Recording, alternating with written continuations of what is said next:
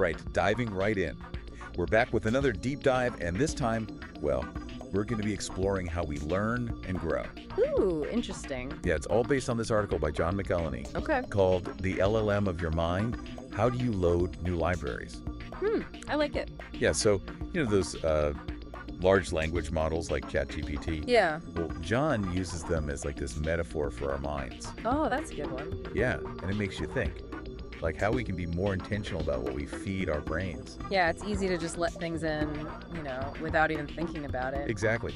This article was published just recently on October 28th on uber.lay Okay. and is written in this really fun, playful tone. I like that. Yeah, but it also asks some really deep questions. I'm intrigued. Yeah, so John starts off by describing our minds as these like anxious beasts. Anxious beasts. Yeah, constantly bombarded with information from, well, everywhere. News, social media, you name it.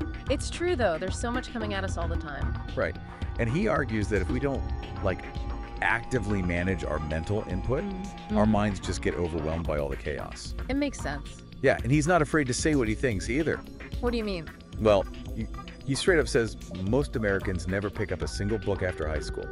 Oh, wow. And then he goes on this little tangent about how a certain political party Uh-oh. wants to eliminate education to create, quote, sheep. Oh. Yeah. It's a bit much, but, you know, that's just his opinion. Yeah, of course. But it does highlight this point, right? About how we need to be careful about what we let into our mind. Oh, absolutely. Like garbage in, garbage out, right? Totally. It's Right. like we have to choose our mental diet. Oh, I like that. And he even suggests things like turning off the TV and phone for extended periods. Oh, wow. Digital detox. Yeah. And he also talks about the importance of mindfulness, you know, like meditation. Even just for a minute a day. Yeah. He says even just a minute can be beneficial.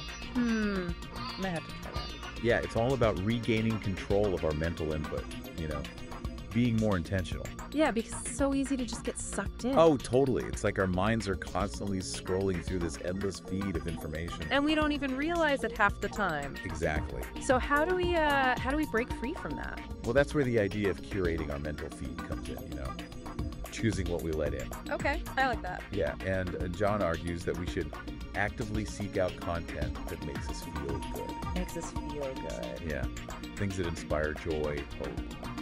Okay, I can get behind that. And then he gives all these examples of how we can actually like load new libraries into our minds. Ooh, load new libraries. Yeah, and it's not just reading, although that's a big one. What else does he suggest? Well, he talks about watching impactful movies, connecting with nature, journaling, Those are all great. right? And even things like deepening our self understanding and exploring spirituality. Wow, he really covers a lot of ground. I know. It's so interesting. He even suggests things like learning bird calls or gardening. What's the thinking there? Well, I think it's about connecting with the natural world, you know, Mhm. engaging all of our senses. Hmm, beautiful. Yeah, and it makes you realize that learning can take so many different forms. Absolutely. It's not just about books and lectures. It's about expanding our horizons, experiencing new things. Exactly. I'm really starting to see how this all ties back to the LLM analogy. Me too. Yeah. Like we're constantly giving our minds prompts, whether we realize it or not. And the quality of those prompts determines the quality of our output. Precisely. And that brings us to this really interesting section of the article called The System Dreams in Darkness. Okay, this sounds mysterious. It is. It's all about the importance of sleep and minimizing distractions. Sleep, huh? That's always a good one. Right. He describes it as allowing our minds to process and integrate information, which ties back to the LLM analogy, you know. So, our brains need downtime to make sense of everything. Yeah. Like our mental systems need time to process everything we've taken in. Makes sense. And he also talks about setting short and long-term goals as a way to like guide our mental focus. So, like giving our minds a clear direction. Exactly. It's like giving our mental LLM a prompt. Interesting. So, goal setting is like coding our minds for success. I love that. Yeah, it's like giving our minds a roadmap. And without that roadmap, we're just wandering aimlessly. Exactly. and this leads us to, well, one of the biggest questions of all Oh, the why am I here question. it's a big one, huh? Yeah, you know, that existential question we all grapple with. We'll go, go through that. And John suggested instead of fearing this question, we should use it as fuel for self exploration. Oh, I like that. Lean into the existential angst. Right. So instead of running from it, we embrace it and see where it leads us. Exactly. Sometimes the most profound insights come from those uncomfortable places. That's true. So, wow. We've covered a lot of ground already. We Mm. talked about the anxious beast, mindfulness, curating our mental feed, Loading new libraries. yeah, loading new libraries, and Mhm. even tackling the big existential questions. It's a lot to take in. It is. But before we dive into the next part, I'm curious. Yeah. What's standing out to you the most so far? Hmm.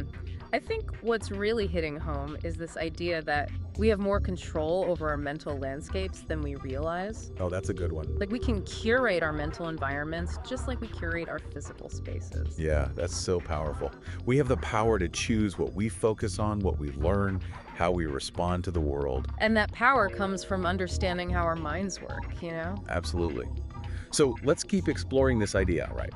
Next up, we're going to dive into how our thoughts, emotions, and behaviors are all connected. Ooh, this should be good. Yeah, and we'll uncover this brilliant idea that John introduces writing better prompts for our minds. I can't wait. Okay, so John really gets down to business in this next section. Yeah, he starts talking about how, like, what you think is your reality. Hmm, interesting.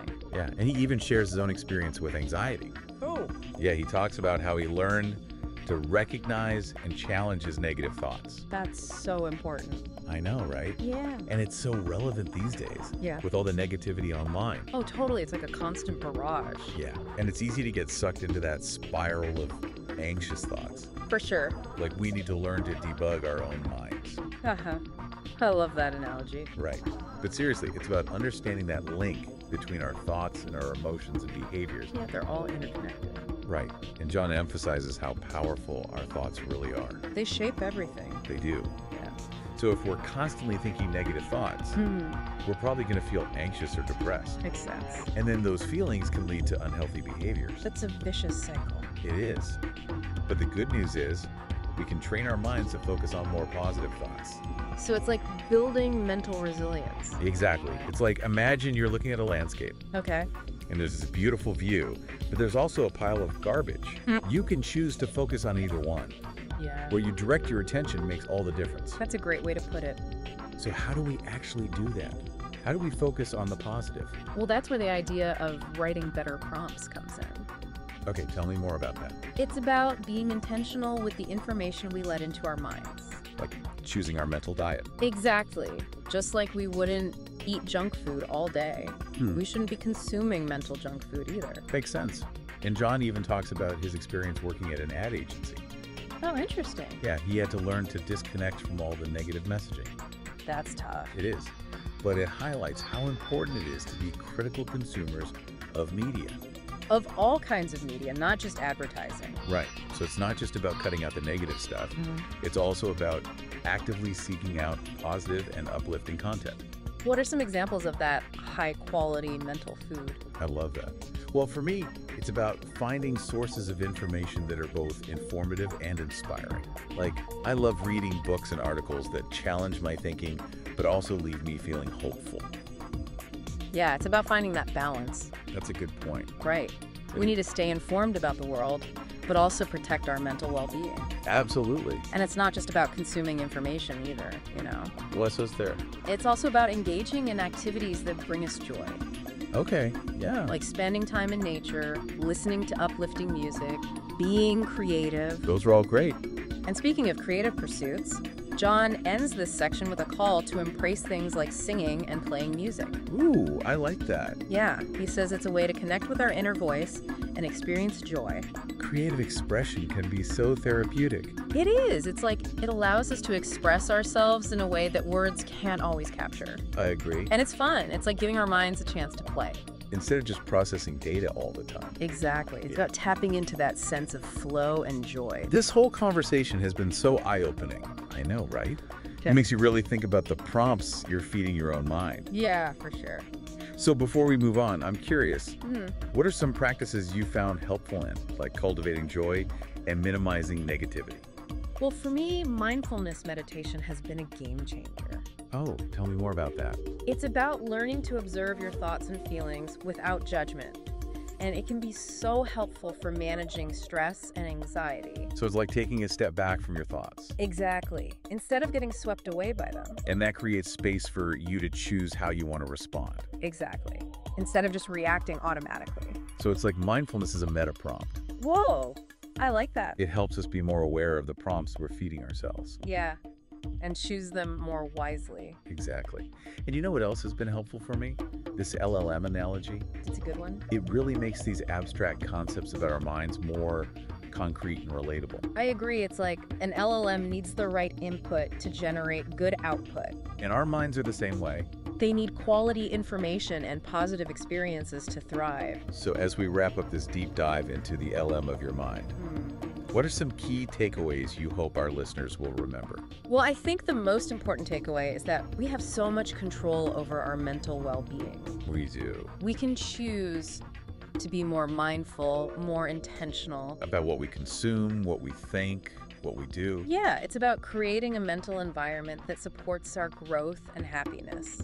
It's like we're the architects of our own minds. Love that. We get to decide what we build and how we decorate. And that brings us to the heart of this whole thing, right? What do you mean? The idea that we can load new libraries into our minds. Yeah. It's not just about taking in information, it's about using it to shape our lives. It's about going beyond knowing something to actually understanding and applying it. And that takes effort.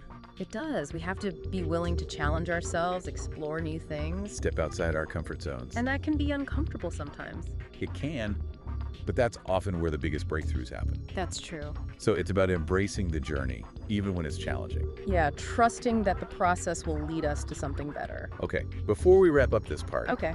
I want to leave our listeners with a question. Okay, shoot. What libraries would you like to load into your mind in the coming weeks or months? Oh, that's a good one. Yeah. What experiences or knowledge will help you grow and thrive? Hmm. Something to think about. Right. Jot down some ideas, maybe even share them with a friend. It's a great way to put these ideas into action. Wow, it's amazing to think about everything we've uncovered in this deep dive. Yeah, we've gone from those anxious beasts all the way to looting new libraries. And even wrestled with the big, why am I here question along the way. It's been quite a journey. It really has. But through it all, I think the LLM analogy has been so helpful. Oh, absolutely. It's given us this framework for understanding how we can like intentionally shape our minds. Yeah. And one of the most powerful takeaways for me has been this idea of writing better prompts. Oh, that's such a good one. It reminds us that we have so much agency. We're not just passive bystanders. Exactly. We can actually choose what we focus on, how we respond to the world. Especially in today's world, with so much information coming at us. It's crucial to be mindful of what we're letting in. Yeah, it's about being intentional, making sure our inputs align with our values and goals. So it's not just about what we consume, It's about how we process it, what we create from it. it's about taking all this information and using it to fuel our growth. Our creativity, our well being. That's it. Well said.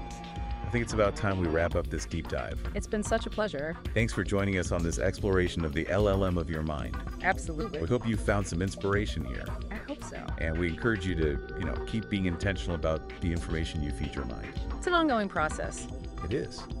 So keep those mental libraries stocked with, well, with everything that makes you feel alive and engaged. With wonder and wisdom. And don't forget a healthy dose of creativity. That's key.